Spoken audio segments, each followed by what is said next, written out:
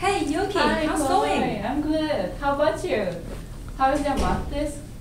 Oh, I just got a feedback. It was a terrible test. I Mm. flunk out. I'm sorry.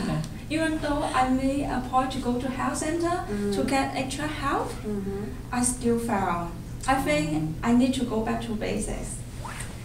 What do you think of your test? Mine was also terrible and my mark was below average because I was always goofing off in class.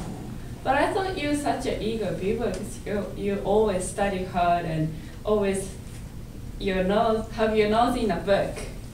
I think you should have you should have gotten more than A for effort. Yeah, do you think we need someone to help us? Yeah. Yeah, why don't you ask Jeff to help us? His mark was above average. Mhm. Helping us would be as easy as ABC for him. Oh, but actually, I haven't kept in touch with him for a while, so I don't know his phone number. Do you? Mm, let me check. yeah, I have.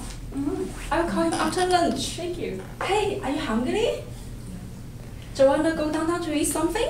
Yeah, I'm so hungry right Me now. too. Let's go to downtown right away. What kind of restaurant you wanna go to? Mm, how about Japanese? Mm. I know one place. They have a good f- food. Yeah, sounds good. Oh, eight bus is coming in five minutes. Let's run.